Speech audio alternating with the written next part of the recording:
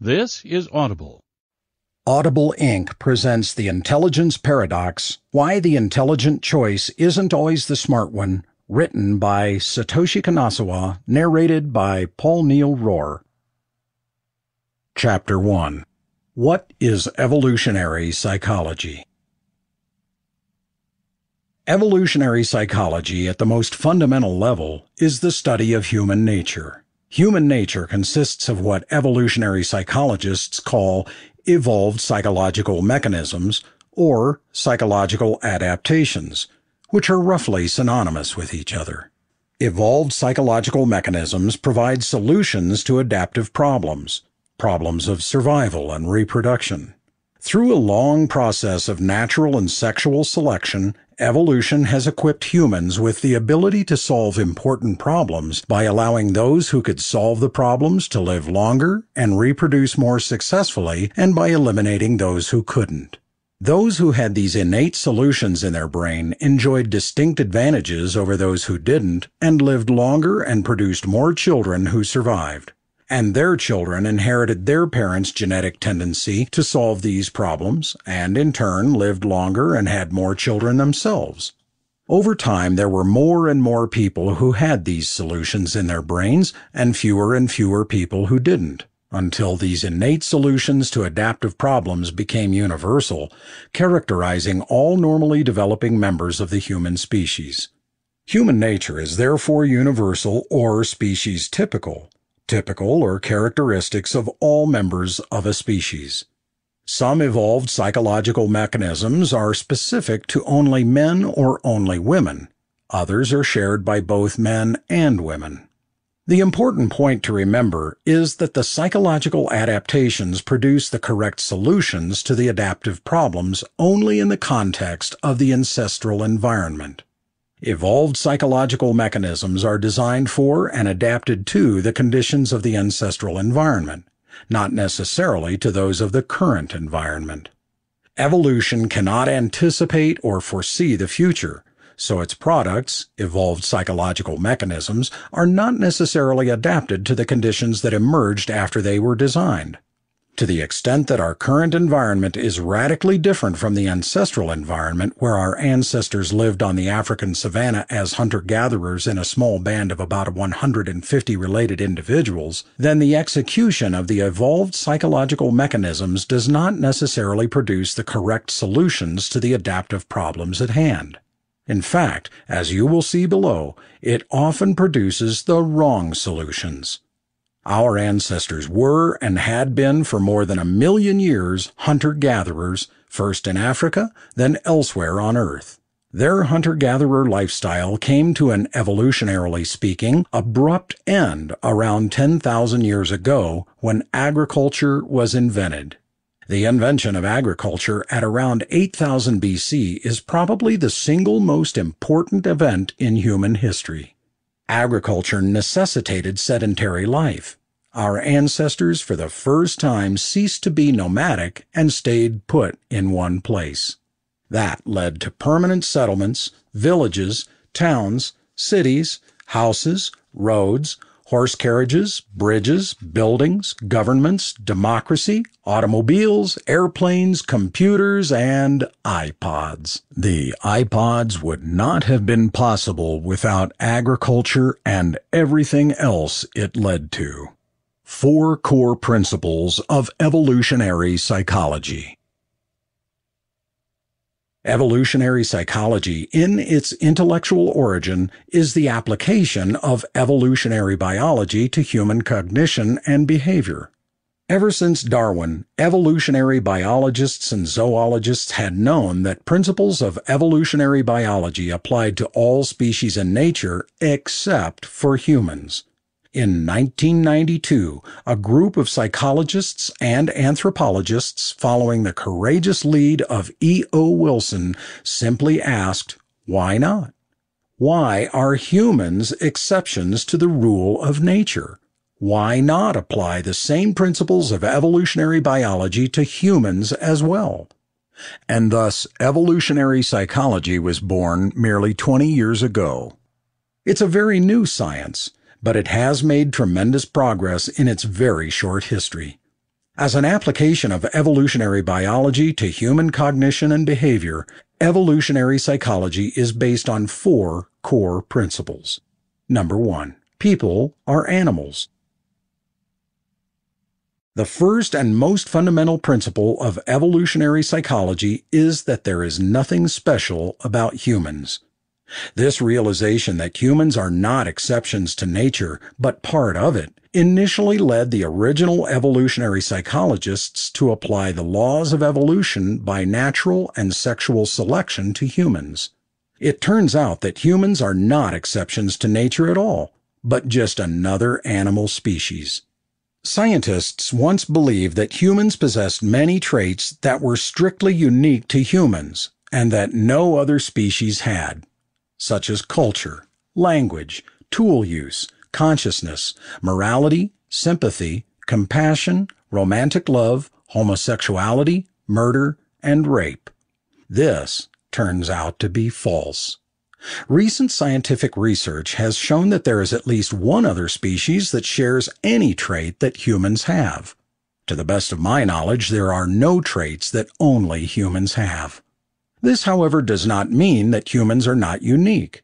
To quote the great sociobiologist Pierre L. van den Berghe, certainly we are unique, but we are not unique in being unique. Every species is unique and evolved its uniqueness in adaptation to its environment. The fact that humans are unique means that no other species have the exact constellation of traits and characteristics that humans have. If chimpanzees were exactly the same as humans in every possible way, then they would not be a separate species from humans. They would be humans. Humans are a separate species because no other species is exactly like humans. But this is true of every species in nature. Dogs, cats, giraffes, cockroaches. No other species is exactly like cockroaches. Humans as a species are just as unique and special as cockroaches. No more, no less. Every species in nature is equally unique. The unavoidable conclusion of evolutionary biology is that there is nothing special about humans as a species, and we are just another ape species in nature. As such, all laws of biology hold for humans as they do for all other species. And this includes the law of evolution by natural and sexual selection, which states that the ultimate goal of all living organisms is reproductive success all living organisms in nature are designed by evolution to reproduce and make as many copies of their genes as possible. Number two, there is nothing special about the human brain. For evolutionary psychologists, the brain is just another body part, like the hand or the pancreas. Just as millions of years of evolution have gradually shaped the hand or the pancreas to perform certain functions, so has evolution shaped the human brain to perform its function, which is to solve adaptive problems to help humans survive and reproduce successfully. Evolutionary psychologists apply the same laws of evolution to the human brain as they do to any other part of the human body. Social scientists tend to believe that evolution stops at the neck. They believe that while evolution has shaped the structure and function of every other human body part, the human brain has been immune to evolutionary history. In sharp contrast, evolutionary psychologists contend that the human brain is not an exception to the influences of evolutionary forces on the human body. Evolution does not stop at the neck. It goes all the way up. Number three, human nature is innate. Just as dogs are born with innate dog nature and cats are born with innate cat nature, humans are born with innate human nature. This follows from principle one above. What is true of dogs and cats must also be true of humans. Socialization and learning are very important for humans, but humans are born with the innate capacity for cultural learning. Pierre van den Berghe continues the quote above by saying, Culture is the uniquely human way of adapting, but culture too evolved biologically. Culture and learning are part of the evolutionary design for humans. Socialization merely reiterates and reinforces what is already in our brain, like the sense of right and wrong, which we share with other species. This principle of evolutionary psychology is in clear contrast to the blank slate, tabula rasa, assumption held by most social scientists. They contend that because evolution stops at the neck, humans are born with a mind like a blank slate on which cultural socialization must and can write anything whatsoever. Evolutionary psychologists strongly reject the tabula rasa assumption of the social sciences. In the memorable words of William D. Hamilton, who is universally regarded as the greatest Darwinian since Darwin, the tabula of human nature was never rasa, and it is now being read. Evolutionary psychology is devoted to reading the tabula of human nature. Number four. Human behavior is the product of both innate human nature and the environment. There are few genetic diseases such as Huntington's disease that are 100% determined by genes. If someone carries the affected gene, they will develop the disease no matter what their experiences or environment. An individual's eye color or blood type is also 100% determined by genes. So these and a very few other traits are entirely genetically determined. Otherwise, there are no human traits that are 100% determined by genes. Nor are there any serious scientists who think that there are complex human behaviors that are entirely determined by genes. Contrary to what the critics of evolutionary psychology often claim, there are no genetic determinists in science.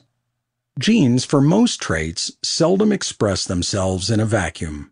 Their expressions, how the genes translate into behavior, often depend on and are guided by the environment. The same genes can express themselves differently depending on the context. In this sense, both innate human nature, which the genes program, and the environment in which humans grow up and live are equally important determinants of behavior. Many social scientists believe that human behavior is 100% determined by the environment, and genes and biology have absolutely no role to play in it. In sharp contrast, evolutionary psychologists do not believe that human behavior is 100% determined by either genes or environment alone.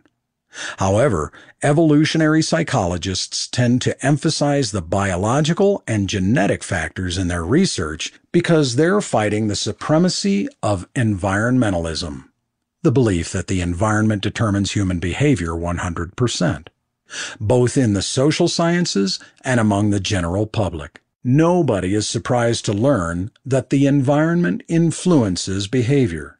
That is not news. But people are often surprised by the extent to which genes influence behavior. That is news. Two logical fallacies that we must avoid. In any discussion of evolutionary psychology or human sciences in general, it is very important to avoid two logical fallacies. They are called the naturalistic fallacy and the moralistic fallacy. The naturalistic fallacy, which was coined by the English philosopher George Edward Moore in the early 20th century, though first identified much earlier by the Scottish philosopher David Hume, is the leap from is to ought. That is, the tendency to believe that what is natural is good, that what is ought to be. For example, one might commit the error of the naturalistic fallacy and say, because different groups of people are genetically different and endowed with different innate abilities and talents, they ought to be treated differently. The moralistic fallacy, coined by the Harvard microbiologist Bernard Davis in the 1970s, is the opposite of the naturalistic fallacy. It refers to the leap from ought to is, the claim that the way things ought to be is the way they are. This is the tendency to believe that what is good is natural, that what ought to be is. For example, one might commit the error of stick fallacy and say, Because everybody ought to be treated equally, there are no innate genetic differences between groups of people. The science writer extraordinaire Matt Ridley calls it the reverse naturalistic fallacy. Both are logical fallacies and they get in the way of progress in science in general, and in evolutionary psychology in particular. However, as Ridley astutely points out, political conservatives are more likely to commit the naturalistic fallacy. Nature designed men to be competitive and women to be nurturing, so women ought to stay home to take care of the children and leave business and politics to men while political liberals are equally likely to commit the moralistic fallacy.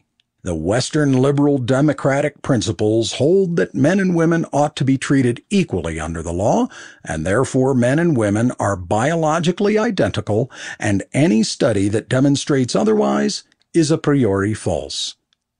The evolutionary psychologist Robert O. Kurzban concisely captures the common attitude among political liberals when he quips, it's only good science if the message is politically correct.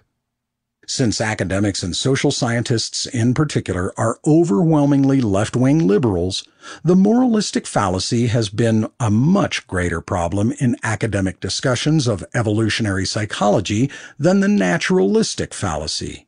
Most academics are above committing the naturalistic fallacy, but they are not above committing the moralistic fallacy.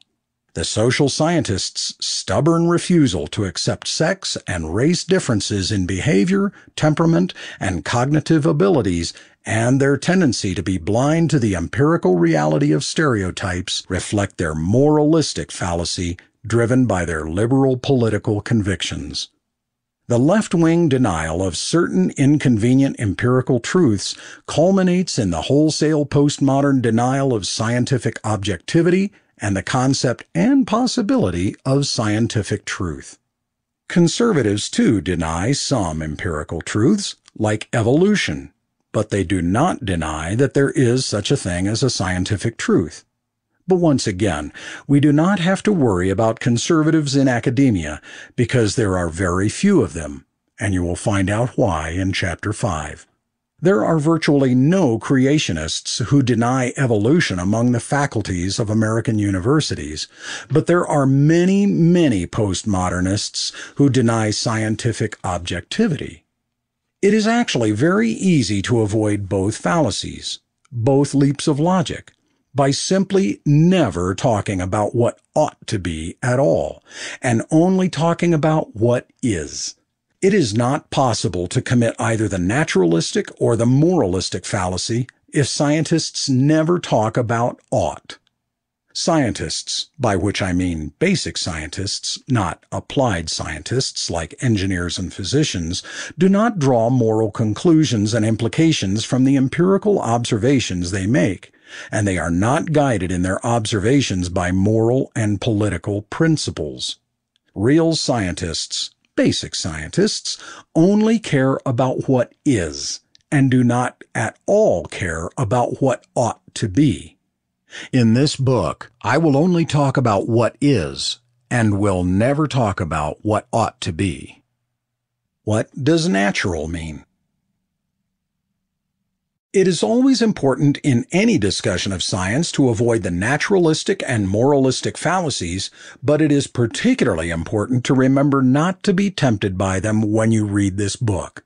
From a purely biological perspective, natural only means that for which the organism is evolutionarily designed, and unnatural only means that for which the organism is not evolutionarily designed. The only organisms that I will talk about in this book are humans. From a purely scientific perspective, murder and rape are completely natural for humans. And getting a PhD in evolutionary psychology is completely unnatural, which is partly why intelligent people do it. Natural decidedly does not mean good, valuable, or desirable, and unnatural decidedly does not mean their opposites.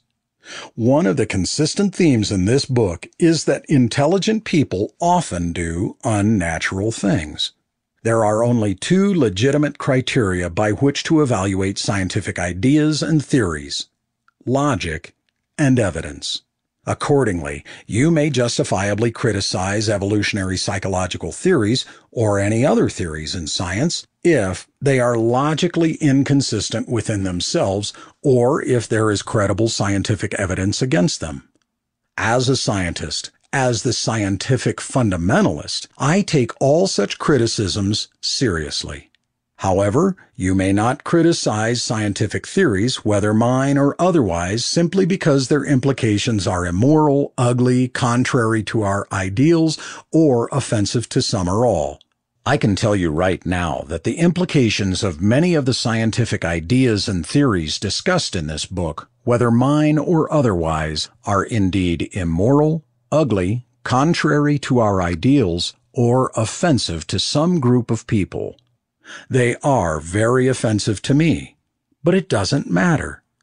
The truth is the only guiding principle in science, and it is the most important thing for all scientists. In fact, it is the only important thing. Nothing else matters in science besides the truth. However, I also believe that any solution to a social problem must start with the correct assessment of the problem itself and its possible causes. We can never devise a correct solution to a problem if we don't know what its ultimate causes are. So the true observations are important foundations of both basic science and social policy. If you do care about solving social problems, which of course I don't. If what I say is wrong, because it is illogical or lacks credible scientific evidence.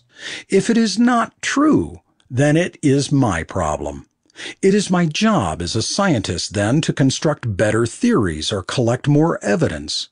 In contrast, if what I say offends you, it is your problem. My credo as a scientist, which undergirds my scientific fundamentalism is, if the truth offends people, it is our job as scientists to offend them. As a scientist, as the scientific fundamentalist, I don't care if people or die. I just want to know why. Chapter 2 The Nature and Limitations of the Human Brain in this chapter, I will focus on the human brain as an evolved organ and talk about how evolution has shaped and designed the human brain to have certain limitations and constraints. I will introduce you to a very fundamental observation in evolutionary psychology, which I call the Savanna Principle. The Savanna Principle. Evolutionary adaptations, whether they are physical or psychological, are designed for and adapted to the conditions of the ancestral environment during the period of their evolution, not necessarily to the conditions of the current environment. Evolution cannot anticipate or foresee the future. It can only respond to conditions in the past. So it is impossible for it to design adaptations that will suit conditions that have not yet existed. This is easiest to see in the case of physical adaptations such as the vision and color recognition system. What color is a banana? A banana is yellow in the sunlight and in the moonlight. It is yellow on a sunny day, on a cloudy day, on a rainy day. It is yellow at dawn and at dusk. The color of a banana appears constantly yellow to the human eye under all these conditions despite the fact that the actual wavelengths of the light reflected by the surface of the banana under these varied conditions are different. Objectively, they are not the same color all the time. However, the human eye and color recognition system can compensate for these varied conditions because they all occurred during the course of the evolution of the human vision system, and the visual cortex can perceive the objectively varied colors as constantly yellow. So a banana looks yellow under all conditions, except in a parking lot at night. Under the sodium vapor lights commonly used to illuminate parking lots, a banana does not appear natural yellow. This is because the sodium vapor lights did not exist in the ancestral environment during the course of the evolution of the human vision system, and the visual cortex is therefore incapable of compensating for them. Evolution, which designed the human eye, only knew about the sun, the moon, and possibly open fire as the only sources of illumination. It could not have anticipated the sodium vapor lights or any other type of artificial illumination like fluorescent lamps, which is why things look unnatural under fluorescent light. Fans of the 1989 James Cameron movie The Abyss may recall a scene toward the end of the movie where it is impossible for Ed Harris's character, a deep sea diver, to distinguish colors under artificial lighting in the otherwise total darkness of the deep oceanic basin. Regular viewers of the TV show Forensic Files, formerly known as Medical Detectives, and other real life crime documentaries may further recall that eyewitnesses often misidentify the colors of cars on freeways, leading the police either to rule in or rule out potential suspects incorrectly. This happens because highways and freeways are often lit with sodium vapor lights and other evolutionarily novel sources of illumination which distort colors to the human eye. The same principle that holds for physical adaptations, like the color recognition system, also holds for psychological adaptations. Pioneers of evolutionary psychology all explicitly recognize that the evolved psychological mechanisms are designed for and adapted to the conditions of the ancestral environment, not necessarily to those of the current environment. In 2004, I systemized these observations into what I call the Savanna Principle. Savanna Principle. The human brain has difficulty comprehending and dealing with entities and situations that did not exist in the ancestral environment. Other evolutionary psychologists call the same observation the evolutionary legacy hypothesis, or the mismatch hypothesis. The names may vary, but the observation remains the same. We are stuck with the Stone Age brain which assumes that we are still hunter-gatherers on the African savanna and responds to the environment as if it were the African savanna. There are many manifestations of the savanna principle in our daily life. TV friends, Here's one illustration of the Savanna principle in action. In 2002, I discovered that individuals who watched certain types of TV shows were more satisfied with their friendships, just as they were if they had more friends or socialized with them more frequently.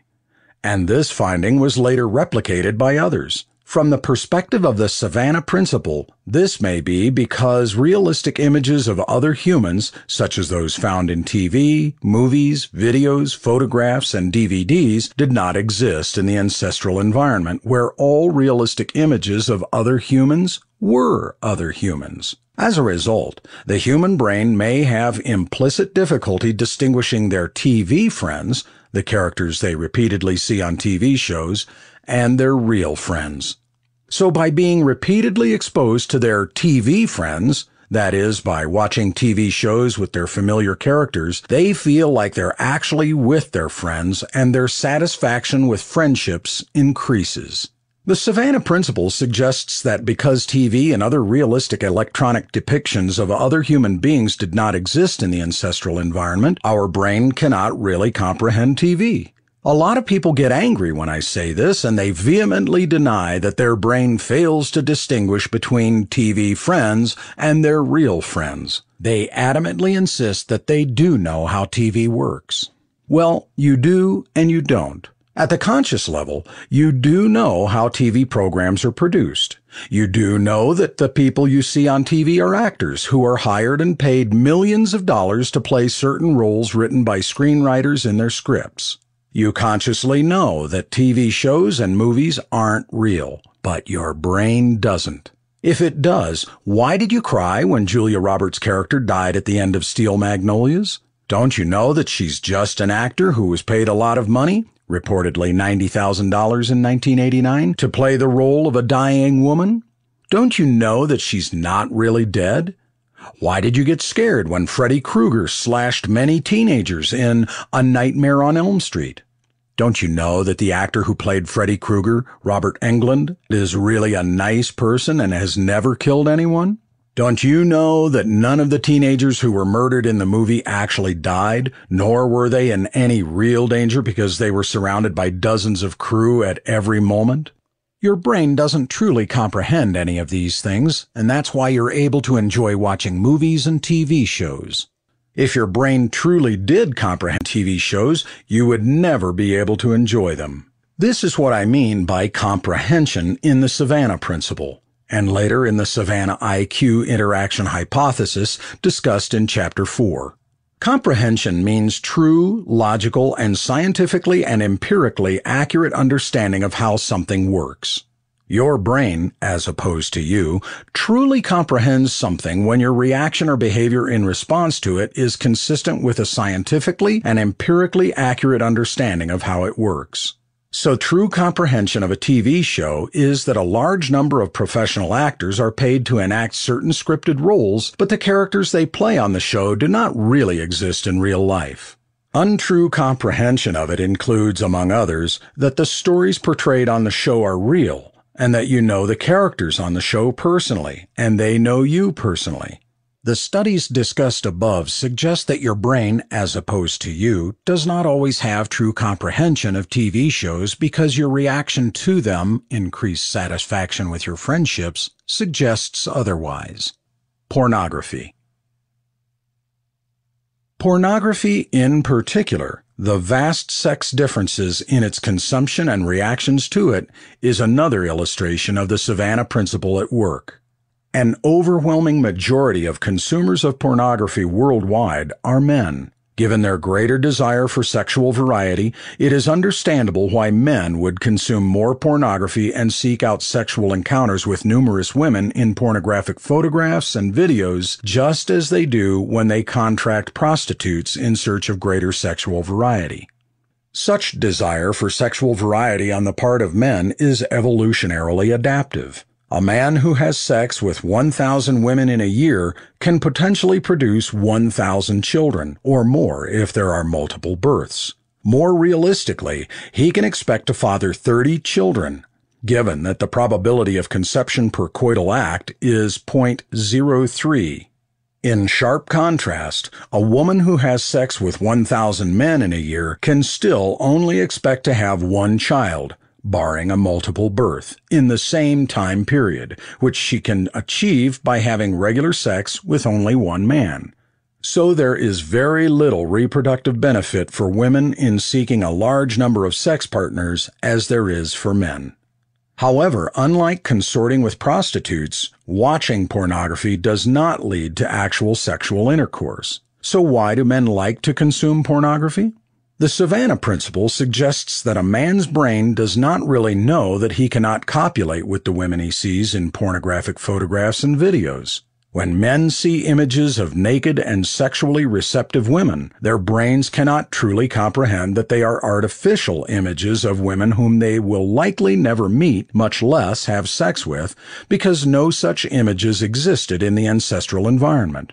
Every single naked and sexually receptive woman that our male ancestors saw throughout human evolutionary history was a potential sex partner. As a result, their brains think that they might have actual sexual encounters with these women. Why else would men have an erection when they view pornographic photographs and videos when the only biological function of an erection is to allow men to have intercourse with women? If men's brains truly comprehended that they would likely never have sex with the naked women in pornography, they would not get an erection when they watch it. The same principle holds in strip clubs and peep shows, even though these involve real live women, not their photographic and electronic images. In the ancestral environment, there were no women who were paid to dance around naked in front of men and pretended to be sexually aroused and interested in them, but would never actually have sex with them. So, men's brains cannot truly comprehend strippers and lap dancers. That is why they get an erection at strip clubs and peep shows when they consciously know that they would not actually have sex with the naked women dancing in front of them. The failure of men's brains to comprehend images of naked women, nevertheless, has some real consequences. In one experiment, men who viewed Playboy centerfolds subsequently found their own girlfriends physically less attractive and expressed less love for them. Why would men love their girlfriends less after viewing pictures of naked women in Playboy unless their brains implicitly assume that they could potentially date the Playboy centerfolds instead of their current girlfriends, most of whom pale in comparison to them? But it's not only men's brains that fail. The Savanna principle applies equally to women as it does to men. Women's brains have the same evolutionary constraints and limitations as those of men.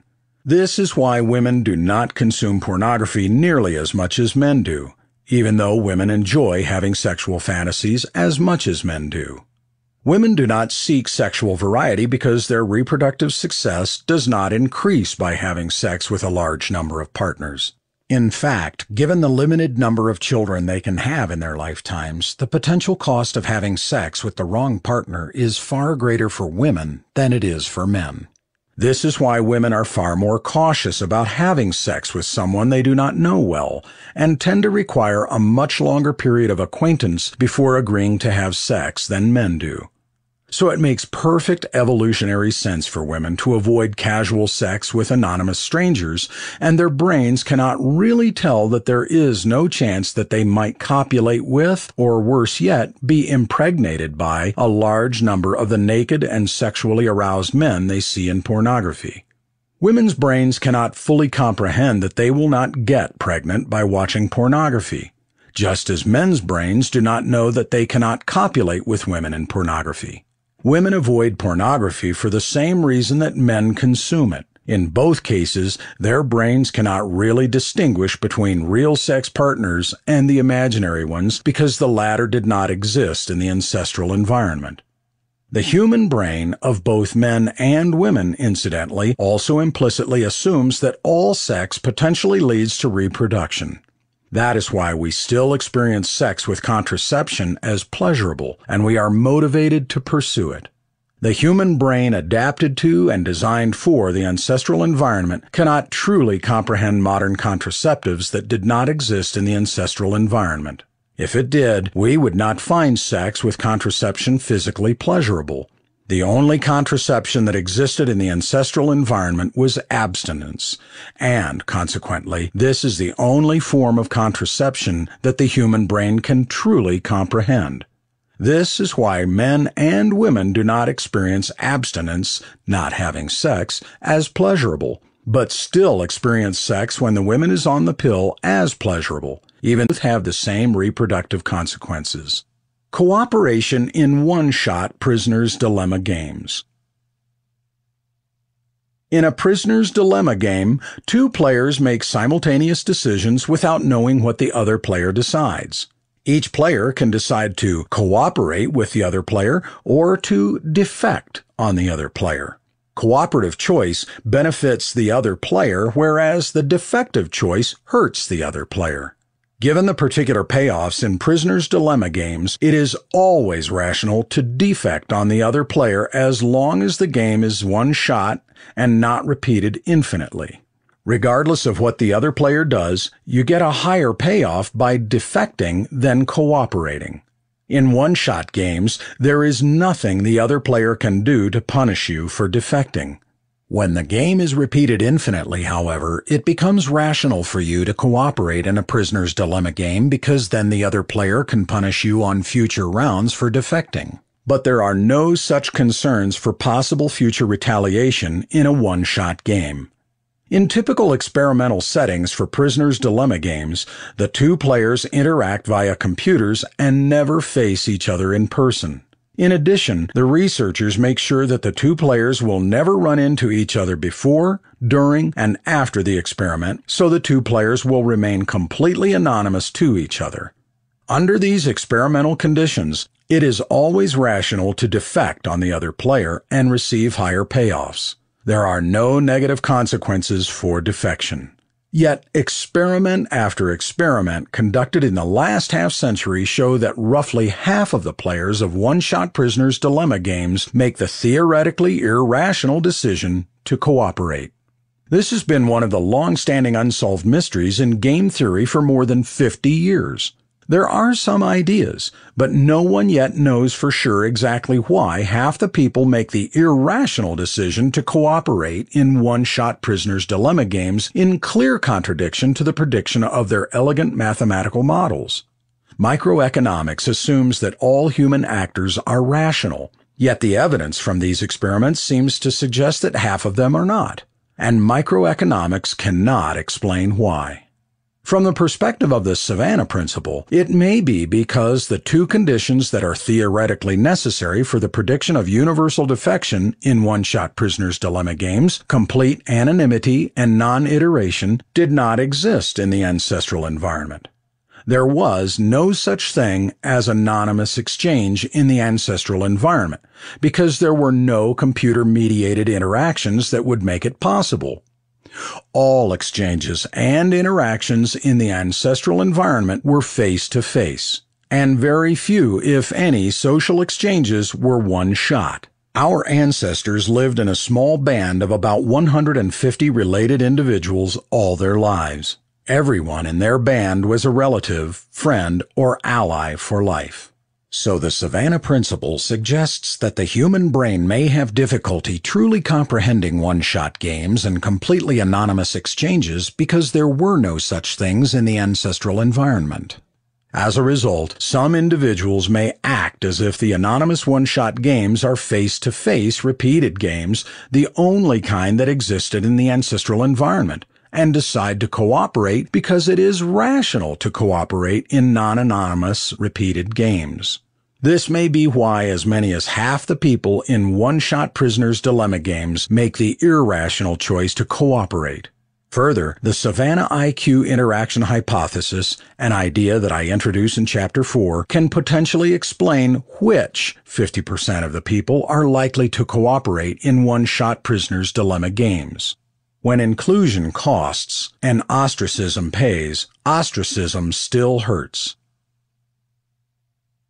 An incredibly ingenious experiment recently conducted by a couple of social psychologists provides yet another illustration of the Savanna principle in operation. Humans are highly social species, and they rely and depend on each other for survival. For this reason, humans have always lived in social groups. Because humans are highly dependent on others in their groups, ostracism, being excluded from their social groups and the benefits they provide, has always been costly throughout human evolutionary history, and their very survival has often depended on being included in their groups. It is therefore not surprising at all that humans have evolved psychological mechanisms that incline them to seek group affiliation and avoid ostracism. Studies examining the human brain using the fMRI, functional magnetic resonance imaging technology, have revealed that being ostracized activates the same region of the brain that lights up when individuals experience physical pain. In other words, humans are designed to feel physical pain when they are ostracized. Given how dangerous being excluded from the group is for human survival and how very costly ostracism is, especially in the ancestral environment of the African savanna, this makes perfect evolutionary sense. Our ancestors who did not mind being ostracized and didn't feel any pain about it probably didn't live long enough to produce many children. But what if ostracism was not costly at all? What if, instead, being included is costly and being excluded is beneficial? Would people then come to enjoy being excluded and fear being included? This is the question that motivated Ilja van Beest and Kipling D. Williams to conduct their ingenious experiment in their 2006 article, When Inclusion Costs and Ostracism Pays, Ostracism Still Hurts published in the premier journal in social psychology, Journal of Personality and Social Psychology. In their experiment, Van Beest and Williams use a variant of a multiplayer computer game called Cyberball. An individual plays Cyberball with two other players. Each player can see the other two players on the computer screen, but they are in other locations. Each player is alone in the room. The game is very simple. The three players toss a ball on the computer screen back and forth with each other. If you get the ball, you can toss it to either of the other two players, and whoever receives the ball tosses it to one of the other players. Each player has a choice of two players to toss the ball to. Figure 2.1 is a screenshot from Cyberball, courtesy of Kipling D. Williams. If you are a player in this game, the left hand that you see at the bottom of the screen is yours, and you see the other two players in the game in front of you. In the screenshot, you are observing one of the other players on the left throwing the ball to the other player on the right. You are therefore not involved in this particular ball toss. The player on the left has chosen player, not you, to whom to toss the ball. Unbeknownst to the human player, however, the other two players on the screen are simulated actors programmed by the researchers to behave in certain ways. The experiment has a 2, inclusion versus exclusion, times 2, gain versus loss, design. In some games, the human player is included in a fair share of the ball tosses. This is the inclusion condition. In other games, after a couple of tosses at the beginning, the human player is completely excluded from the ball toss and watches the other two players toss the ball back and forth with each other, completely ignoring and excluding the human player. This is the exclusion condition. In some games, in both inclusion and exclusion conditions, the human players earn 50 cents every time they touch the ball when they're included in the ball toss. This is the gain or inclusion pays condition. In other games, in both the inclusion and exclusion conditions, the human players lose 50 cents every time they touch the ball. In other words, in this condition, people are financially better off if they're excluded from the ball tosses. This is the loss or exclusion pays condition. Van Beest and Williams' experimental design makes these two factors completely independent of each other. Some subjects gain money while being included, and some subjects gain money while being excluded. Other subjects lose money while being included. Still others lose money while being excluded. Then, after the cyberball game is over, the researchers measure the subject's satisfaction and mood. It makes perfect sense that human players who were excluded from the ball toss in the inclusion pays condition were hurt by being excluded. They would have earned more money if they were included in the game, but they were not, so they felt hurt. No surprises here. What is surprising is that people in the exclusion pays condition were also hurt when they were excluded. These people made more money by being excluded from the game, yet they were equally hurt by not being included in the ball toss by the other two players. How could this be? How could people feel hurt when they were doing better? The Savanna Principle can offer one potential answer. Throughout the course of human evolution, exclusion was always costly and inclusion was always beneficial. These two things always went together. Because there were no evil experimental psychologists in the ancestral environment to manipulate these variables independently. There were no such things as beneficial exclusion and costly inclusion. Our ancestors were never in the exclusion pays condition. The human brain, therefore, cannot comprehend such a thing. The human brain implicitly and unconsciously assumes that all ostracism is costly, just as it assumes that all realistic images of people whom they see on a regular basis and who don't try to kill or harm them in any way are their friends even when these people are on TV microeconomic theory, or any other theory of human behavior which assumes that human behavior is rational and based on carefully calculated cost benefit analysis cannot explain Van Beest and Williams' remarkable findings that humans are happy to lose money and sad to make money. Without the Savanna principle, it would be difficult to explain why ostracism makes people sad when it pays. This is one of the many reasons why evolutionary psychology is superior to microeconomics or any other theory as an explanation for human behavior even when we are not talking about sex differences. The fundamental insight of evolutionary psychology expressed in the Savanna Principle is that the human brain responds to the environment as if it were still the Africa savanna in the ancestral environment for the most part during the Pleistocene epoch 1.6 million to 10,000 years ago. You, the person, may consciously know that this is the 21st century, and you are a stockbroker in New York, an artist in Seattle, a housewife in San Francisco, or a student in Kansas City. But your brain doesn't know that. Your brain unconsciously and implicitly still thinks that you are a hunter gatherer living on the African savannah more than 10,000 years ago, where there was no TV or psychology experiments or virtually anything else you see around you today. As you can imagine, implications of this fundamental observation of evolutionary psychology for our modern life are significant and widespread. Chapter 3 What is Intelligence? Intelligence, or more precisely, general intelligence, refers to the ability to reason deductively or inductively, think abstractly, use analogies, synthesize information, and apply it to new domains. Perhaps no other concept in science suffers from greater misunderstanding and is plagued with more misconceptions than the concept of intelligence. Many of these misconceptions are politically motivated by the equation of intelligence with human worth that I mention in the introduction.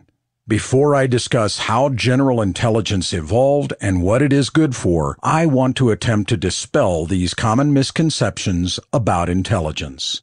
Common misconceptions about intelligence. Misconception number one. IQ tests are culturally biased. Probably the most pervasive misconception about intelligence is that IQ tests, which measure intelligence, are culturally biased against certain racial and ethnic groups or social classes. This misconception stems from the well established and replicated fact that different racial and ethnic groups on average score differently on standardized IQ tests. As I mentioned in the introduction, social scientists and lay public alike assume, without any logical or empirical support, that everyone and all racial and ethnic groups is equally intelligent because they are all equally worthy human beings. If everybody is equally intelligent, yet some groups consistently score lower than others, then the argument goes it must, by definition, mean that the IQ tests are culturally biased against the groups who score lower. But the claim of cultural bias rests entirely on the conviction and unquestioned assumption that everybody and all groups are equally intelligent, which in turn rests entirely on the conviction and unquestioned assumption that intelligence is the ultimate measure of human worth. The claim is untenable to dismiss these untested and hence religiously held convictions and assumptions. Think about the sphygmomanometer for a moment. It is the device that doctors and nurses commonly use to measure blood pressure with the inflatable cuff with Velcro and a mercury manometer to measure the pressure of blood flow. It is an unbiased and accurate, albeit imperfect, device to measure blood pressure. It is very imperfect, as I discuss later in the chapter. Nobody would argue that it is culturally biased against any racial or ethnic group. Yet, there are well established race differences in blood pressure. Blacks on average have higher blood pressure than whites. Does that mean that the sphygmomanometer is culturally biased against or for blacks? Is blood pressure a racist concept? Of course not. It simply means that blacks on average have higher blood pressure than whites. Nothing more, nothing less. Or think of the bathroom scale. Once again, the bathroom scale is an unbiased and accurate, albeit imperfect, device to measure someone's weight. Nobody would argue that it is culturally biased against certain groups. Yet, on any bathroom scale, women on average score lower than men, and Asians on average score lower than Caucasians. Does that mean the bathroom scale is culturally biased against women or Asians? Is weight a sexist or racist concept? Of course not. It simply means that women on average weigh less than men, and Asians on average weigh less than Caucasians. Nothing more, nothing less. Nobody argues that blood pressure is a racist concept or that the sphygmomanometer is culturally biased, because nobody equates low blood pressure with human worth. As a result, nobody gets upset about observed race differences in blood pressure.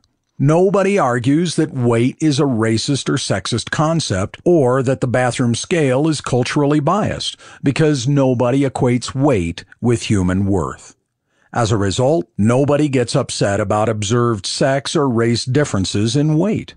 Why are race and sex differences bona fide evidence of bias only with IQ tests? The single most accurate IQ test currently available is called the Raven's Progressive Matrices. Intelligence researchers universally consider it to be the single best test to measure general intelligence because scores on this test are more strongly correlated with the underlying dimension of general intelligence than any other single intelligence test. In technical language, Raven's progressive matrices are more highly G-loaded than any other cognitive test. The test comes in three different versions. The standard version, Raven's standard progressive matrices, the advanced version for college students and other more intelligent people, Raven's advanced progressive matrices, designed to discriminate the higher end of the IQ distribution more precisely, and the multicolor version for children, Raven's colored progressive matrices.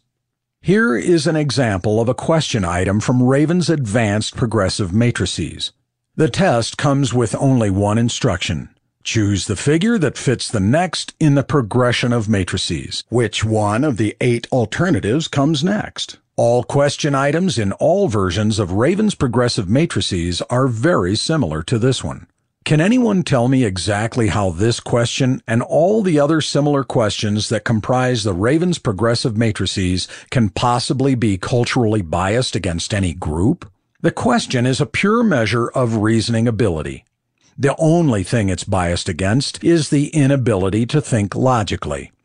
By the way, if you're wondering, the correct answer to the above question is number seven. Misconception number two.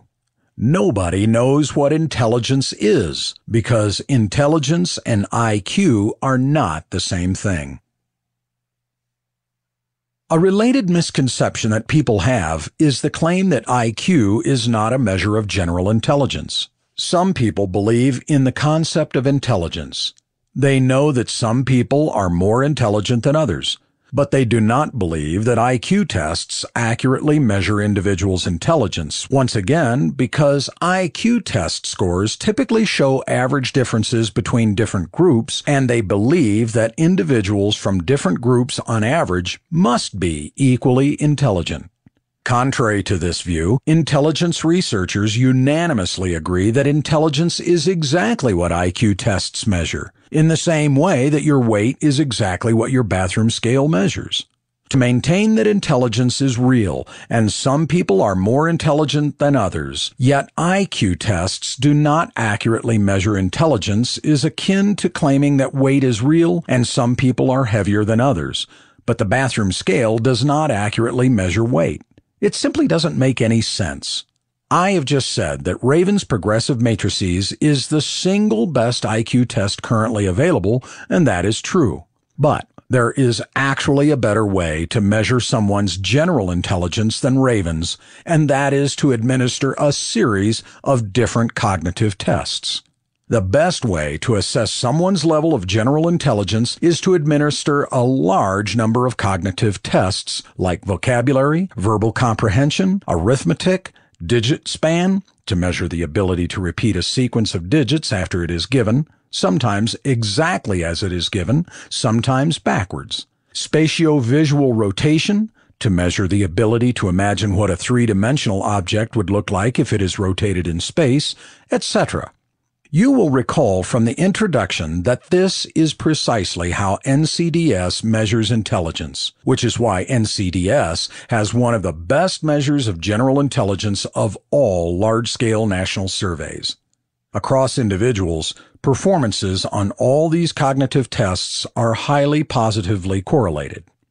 In other words, people who do well in verbal comprehension tests tend also to do well on arithmetic tests and they have better ability to visualize a three-dimensional object from a different angle or to repeat a sequence of digits that is given to them backwards.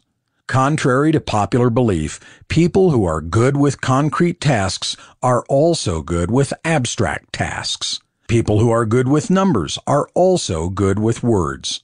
For example, in a classic paper published in 1904, Charles Spearman shows that students' relative school performance in mathematics is highly correlated with their performance in classics. R equals 0.87. French, R equals 0.83. English, R equals 0.78. Pitch discrimination equals 0.66. And music, R equals 0.63. The R is a measure of association between two variables, known in statistics as the correlation coefficient. It varies from minus 1 when the two variables are perfectly negatively correlated through 0 when they are completely unrelated to each other to plus 1 when they are perfectly positively correlated. As you can see, all of the correlations reported by Spearman are very highly positive. In fact, the student's relative performance in music is more highly correlated with their mathematical ability than with their pitch discrimination. R equals 0.40. In the NCDS data, at age 16, the correlation between verbal comprehension and mathematical comprehension is 0.654, which, once again, is very high. As I note below in the next section, the correlation between true blood pressure and blood pressure measured by the sphygmomanometer is about 0.50. It means that using a verbal comprehension test to measure one's mathematical ability or using one's relative performance in mathematics to measure one's relative performance in musical ability is more accurate than using the sphygmomanometer to measure blood pressure. That is how high all measures of cognitive abilities are intercorrelated. At the same time, it is also important to remember that as highly as verbal comprehension and mathematical comprehension are correlated in NCDS, R equals 0.654, one can explain less than half of the variance in the other. Explained variance in one variable by another is computed by squaring the correlation coefficient between them. So it means that one score in the verbal comprehension test explains 43% or 0.654 squared equals 0.428 of the variance in mathematical comprehension and vice versa. It means more than half of the variance in mathematical comprehension test scores across individuals cannot be explained by their scores in the verbal comprehension test scores. What psychometricians, whose job it is to measure intelligence accurately and devise tests to do so, do then is to subject individual scores on all these cognitive tests to a statistical technique called factor analysis. What factor analysis does is to analyze the correlations between all pairs of cognitive tests and then measure an individual's latent cognitive ability that underlies their performance on all of the cognitive tests. This latent cognitive ability is general intelligence. Factor analysis also eliminates all random measurement errors that are inevitably associated with any individual cognitive test as a measure of intelligence. So it can measure general intelligence purely without any random measurement errors. The IQ score thus obtained is a pure measure of intelligence. It measures someone's ability to think and reason in various contexts and situations such as numerical manipulations like arithmetic, verbal comprehension like reading, and mental visualization like spatiovisual rotation. Believe it or not, all these cognitive abilities have something in common and that something is general intelligence. So, intelligence is precisely and exactly what IQ tests measure. Intelligence is what allows us to perform on all kinds of cognitive tests. Misconception number three. IQ tests are unreliable.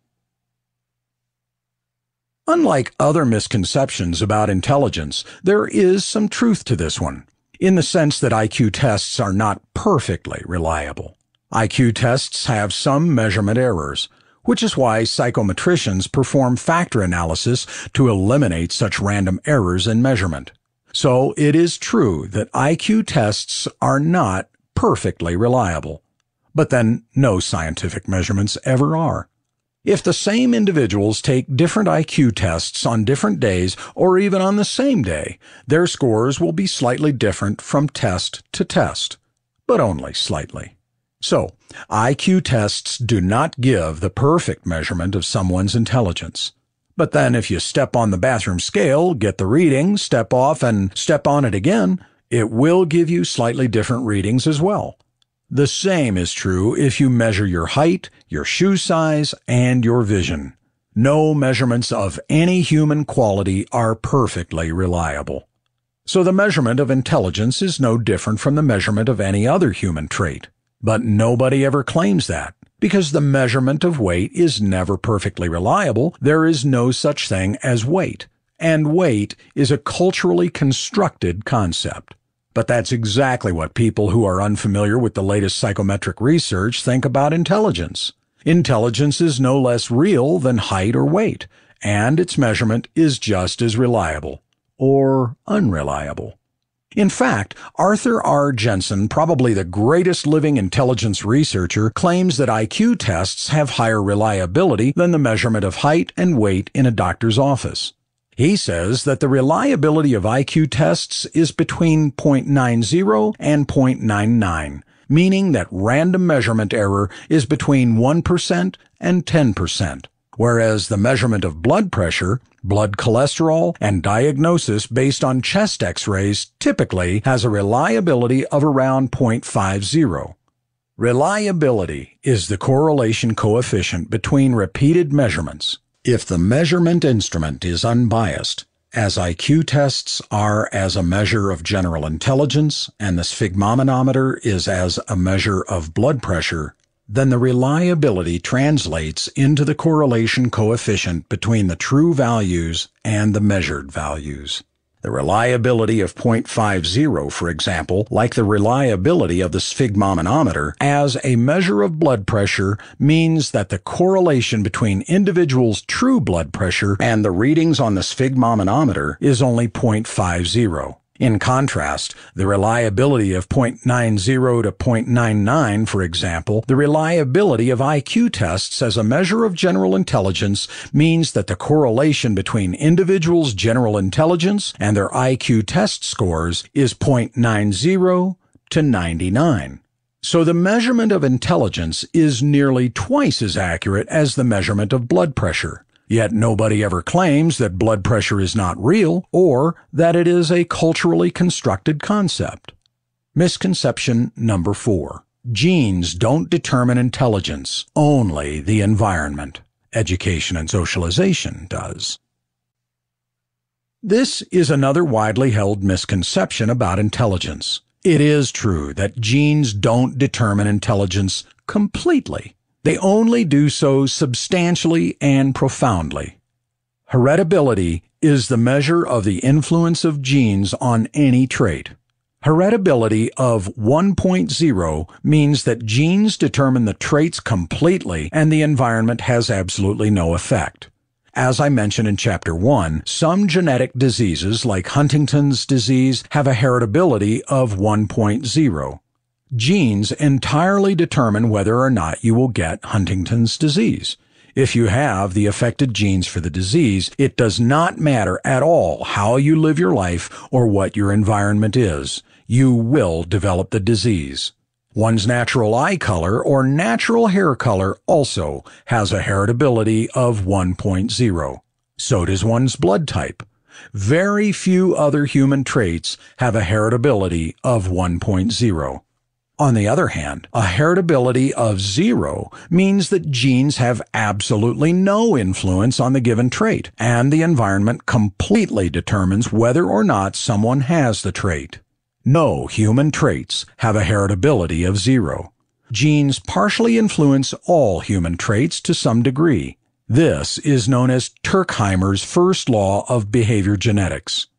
Most personality traits and other characteristics, like whether you are politically liberal or conservative, or how likely you are to get a divorce, have a heritability of 0.50. They are about 50% determined by genes. In fact, most personality traits and social attitudes follow what I call the 50-0-50 rule. Roughly 50% heritable, the influence of genes, roughly 0% what behavior geneticists call shared environment, parenting, and everything else that happens within the family to make siblings similar to each other, and roughly 50% non-shared environment, everything that happens outside of the family to make siblings different from each other. It turns out that parenting has very little influence on how children turn out. Of course, this emphatically does not mean that parents are not important for how children turn out. They are massively and supremely important because children get their genes from their genetic parents. It simply means that parenting, how parents raise their children, is unimportant. This is why adopted children usually grow up to be nothing like their adoptive parents who raised them and a lot like their biological parents or their twin reared apart whom they have never even met. One of the very few exceptions to the 50-0-50 rule is intelligence, for which heritability is larger. Heritability of general intelligence increases from about 0.40 in childhood to about 0.80 in adulthood. Among adults, intelligence is about 80% determined by genes. Yes, heritability of intelligence increases over the life course, and genes become more important as one gets older. This may at first sight seem counterintuitive, but it really isn't. This is because for adults, the environment is part of their genetic makeup, whereas for children, it isn't. Children must live in the environment created by their parents, older siblings, teachers, neighbors, clergy, and other adults. In contrast, adults determine their own environment to a much greater extent than children do. So for adults, genes and the environment become more or less the same thing, whereas for children, they are not.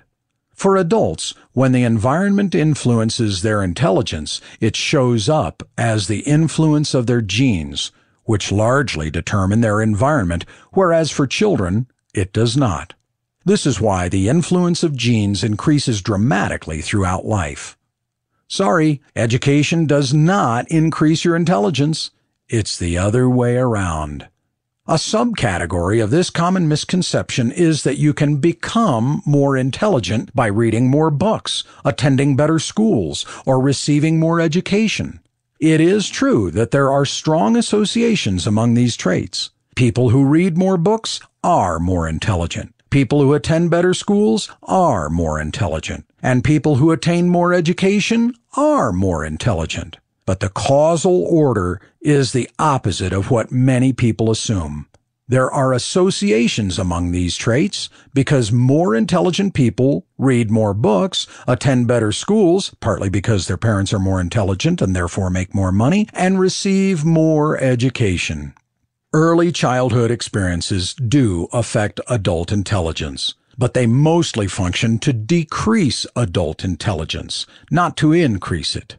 Childhood illnesses, injuries, malnutrition, and other adverse conditions influence adult intelligence negatively, and these individuals often fail to fulfill their genetic potential. But there are very few childhood experiences that will increase adult intelligence much more than their genes would have inclined them to have. Somewhat paradoxically, the wealthier, the safer, and the more egalitarian the nations become, the more, not less, important the genes become in determining adult intelligence. In poor nations, there are many children who grow up ill, injured, or malnourished, and these children will decrease the correlation between genes and adult intelligence. In wealthy societies like the United States, where very few children now grow up ill and malnourished, the environment is more or less equalized. When the environment becomes equal for all individuals, it has the same effect for everyone, and it can no longer explain any variance in the individual outcome. Statistically, a factor that does not vary between individuals cannot be correlated with individual differences in an outcome. And no correlation means no explained variance, as zero squared equals zero. So the more equal the environment between individuals, the more important the influence of genes becomes. A longitudinal study of Scottish people born in 1921 and 1936 shows that their intelligence does not change much after the age of 11. Their intelligence at age 11 is very strongly correlated with their intelligence at age 80. So, contrary to the popular misconception, genes largely, though even for adults never completely, determine intelligence. In fact, intelligence is one of the most heritable of all human traits and characteristics. For example, intelligence is just as heritable as height. Everybody knows that tall parents